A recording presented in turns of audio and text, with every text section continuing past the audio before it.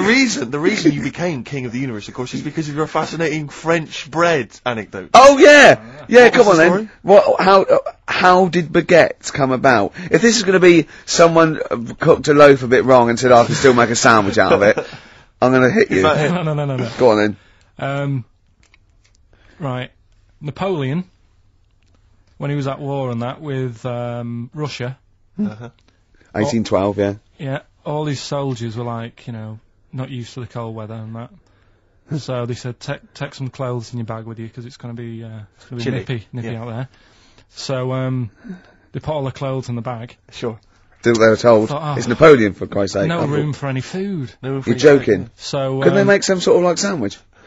No, it won't fit because of all the clothes. You had to take extra Yeah. gear. Sure, sure, sure. So um, anyway, he I can see where know. this is going. I'll be honest. Is there a baguette-shaped gap left in their holdall? They thought, let's make some bread that you can fit down your trouser leg. What? That's not true. no, it's not. I Karl. read it in Euston train station. I was waiting to go back to Manchester. Where did you read What, these? It was- scrawled on the wall in No, no, graffiti? no. Yeah. Do you know the was it upper- also meet me here for cock fun at 12 o'clock? The Upper Crust sandwich shop, Euston station. It's on the wall. What do you mean it's on the wall?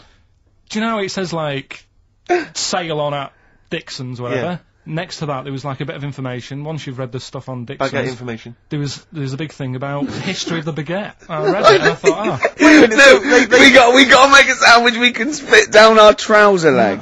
But how can you march and fight with a huge piece of bread down your uh, train? Although it would be intimidating. You see them coming, you go, sacre bleu, look at the size of them. They're, they're, they're big fellas.